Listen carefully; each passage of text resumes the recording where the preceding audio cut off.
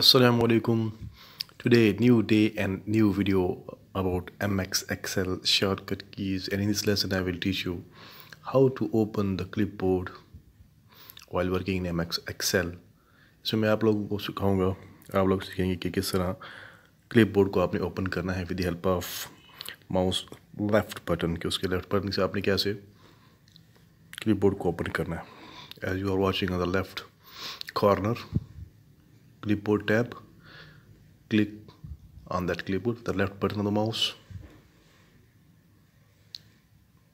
Now clipboard is open and downward you're watching another option click on that option or icon the tab.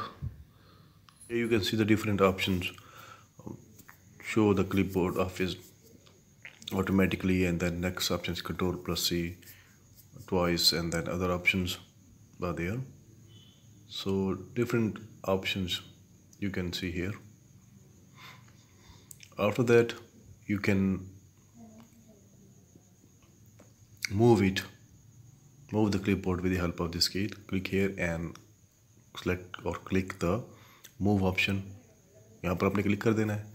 तो उसके बाद आप जहाँ भी इसको आप रखना चाहें क्लिप बोर्ड को आप रख सकते हैं। ठीक है you can move anywhere you want to move it यहाँ पर भी आप मूव करना चाहें यहाँ पर इसको प्लेस करना चाहें तो अपनी मर्ज़ी से इसको आप प्लेस कर सकते हैं, जिस जगह पे रखना चाहें।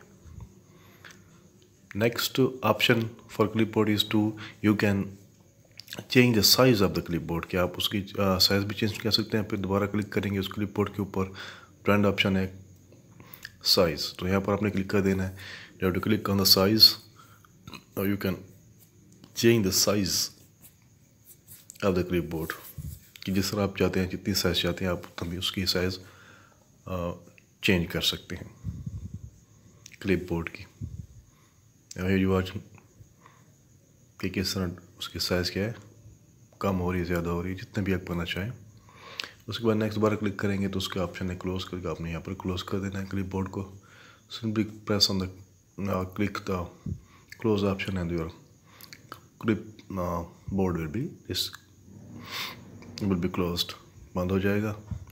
So these are the few interesting tricks or tips to open the clipboard while working in MS Excel. कि एम एक्स एक्सेल में काम करते हो, कैसे आप जो ना क्लिपबोर्ड को ओपन करेंगे। So do watch like and subscribe my channel thank you thanks for watching